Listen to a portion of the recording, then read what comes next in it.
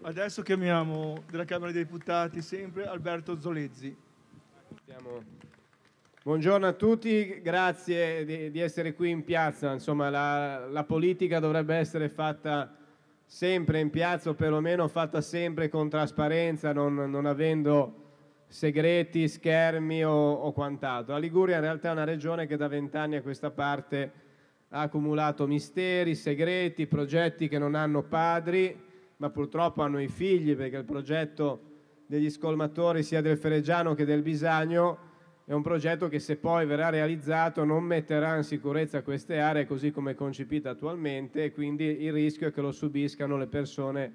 che ci abitano. Rischio oltre al danno alla beffa perché non è un progetto da poco, è un progetto che in tutto tra i due scolmatori verrebbe a costare circa 300 milioni di euro. Io ho fatto un'interrogazione su questo tema per denunciare il fatto che un ente di Stato che si chiama Consiglio Superiore dei Lavori Pubblici ha eh, riscontrato numerose difformità in, eh, in quel progetto. Per, cioè, ma è, viene quasi eh, quel, quel riso tragico pensando a quelle cose che sono scritte in quel progetto.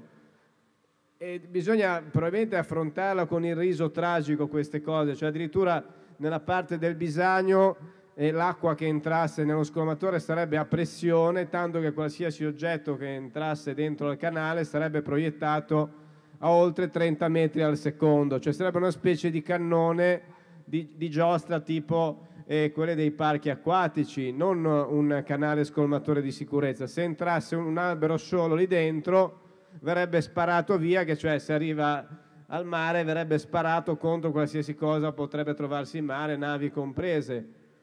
se invece ne entrassero due, tronchi magari si bloccherebbero, perché lo scolmatore è pensato per un tronco solo. Se c'è l'alluvione, probabilmente mettono il vigile che, che, che controlla gli alberi che vadano uno dietro l'altro, insomma. E vi dicevo il riso tragico, la tragicommedia in questo senso, perché davvero non, non è quello che può mettere in sicurezza questa città che paga l'eccessivo cemento, paga il fatto che cioè, sempre la tragicommedia va avanti con Toti che fa un piano per aumentare i volumi di cemento, aumentare i volumi commerciali. Cioè, pensate,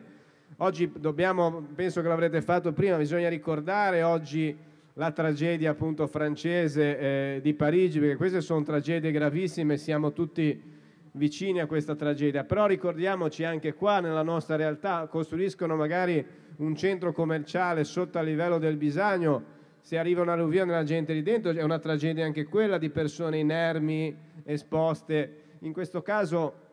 a una mala politica che ha delle gravi responsabilità perché il problema è chiaro, si è visto quante volte il fiume è uscito, si è visto purtroppo che il clima sta cambiando e tutti magari andranno a fare la passerella alla conferenza mondiale sui cambiamenti climatici. Però quando c'è invece da prendere delle decisioni sul proprio territorio no, bisogna dare qualche contentina a chi vuole ancora costruire, non bisogna fare un'opera seria, non bisogna valutare insieme ai cittadini l'eventuale decostruzione, che è una bruttissima parola, ma è l'unica strada per liberare e aumentare la possibilità di portata del Bisagno nel tratto finale, che è quello verso la foce, che è stato assolutamente costruito secondo progetti fin dall'inizio eh, sbagliati e dichiarati sbagliati dagli stessi progettisti. Adesso voglio dire, noi siamo qua in piazza, ci parliamo un po' di tutto, chi ha fatto i modelli di eh, possibile calamità, Genova l'ha paragonata al Vaillant, sia la situazione attuale, perché se il fiume il Bisagno fosse entrato metropolitana di giorno, come c'è entrato, le foto dell'acqua del Bisagno nella metropolitana non l'ho viste solamente io, premesso che anche sul resto della superficie ha fatto grossi danni ma anche con questo progetto di scolmatore che ci dicono vedrete che se fate i bravi ve lo facciamo, iniziamo magari nel 2020, ma le alluvioni potrebbero purtroppo esserci anche prima. Quindi il progetto deve essere serio, deve essere realizzato a breve.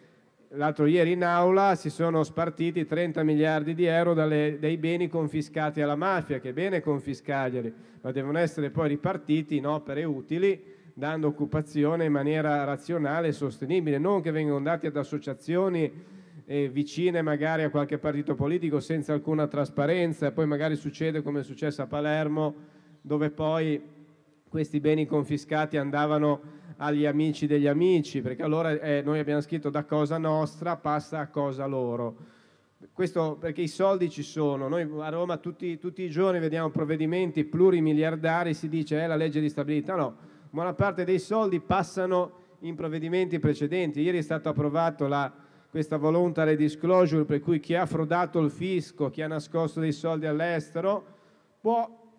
sanare il suo debito, ma non è che lo può sanare riportando il denaro in Italia, lo può sanare dicendo che vabbè io pago un pochino di tasse e poi i soldi li tengo all'estero, quindi l'economia italiana non se ne giova, ma poi non è che dall'anno scorso questa, ad oggi tante persone hanno aderito, hanno aderito una piccolissima parte degli evasori, quest'anno c'è una nuova sanatoria, magari ce ne sarà un'altra l'anno prossimo, non c'è un incentivo a sanare i, pro, i, propri debiti con il fisco e con la propria nazione che poi non ha i soldi neanche appunto per mettere in sicurezza e per, dare, per garantire sicurezza ai propri cittadini. Noi abbiamo proposto la defiscalizzazione per le opere di messa in sicurezza da, contro il dissesto idrogeologico del 65%, abbiamo proposto una mappatura di queste opere perché non esiste nemmeno la mappatura delle, delle aree a rischio in Italia e poi ci deve essere coraggio, parliamoci chiaro, bisogna che le persone facciano le persone, in proporzione al proprio titolo di studio, al proprio reolo, uno deve tirare fuori le palle, perché non è possibile che ci siano gli ingegneri che vedono questi progetti, hanno paura a venire qua in piazza a dire guardate questo progetto è una cagata immensa, quindi è inutile che noi aspettiamo, che preghiamo per avere i soldi che poi no, comunque non serve assolutamente a niente. E però sta succedendo un pochino, perché col Movimento 5 Stelle in tanti si sono svegliati, si sono svegliati diciamo c'è anche alcuni magistrati, ma è, è normale che sia così. Io, io, devo avere una sponda se faccio il magistrato perché la mia azione venga valorizzata. Qualche tecnico che sotto banco ci passa i pizzini, perché ci passano i pizzini, guarda, vai a vedere quella cosa lì perché è una roba che neanche in quinta elementare scriverebbero che 2 più 2 fa 20, che più o meno è, è la portata dello scolmatore del Bisagni del Fereggiano, è così perché non è possibile fare uno scolmatore liscio pensando che la portata aumenti perché diminuiscono le resistenze, che appunto appena c'entra un albero che spacca i bordi, quella, quella, man, quella mancanza di resistenza aumenta subito. Quindi sono cose semplici, ma qua bisogna dirci. Poi qua siete anche in una zona dove avete il problema dei rifiuti, sapete abbiamo appena finito la la relazione su una parte del problema rifiuti in Liguria perché è, è infinito, è infinito, cioè non, non, non si riesce. Adesso la, vediamo come lavorerà l'equipe tecnica appena arrivata. Io spero che lavorino liberi da condizionamenti, liberi da aziende mafiose. Io vi invito adesso, poi vi passerò il link perché una relazione pubblica, leggete, praticamente non esiste nessuna eh, azienda ligure che gestisca rifiuti che sia totalmente staccata anche da aziende mafiose in qualche modo, quindi dal Levante all'estremo ponente. E anche lì qualche magistrato è riuscito a, a sequestrare denari importanti, 600 mila euro a Imperia perché la, per la truffa facevano arrivare dei combustibili dall'Africa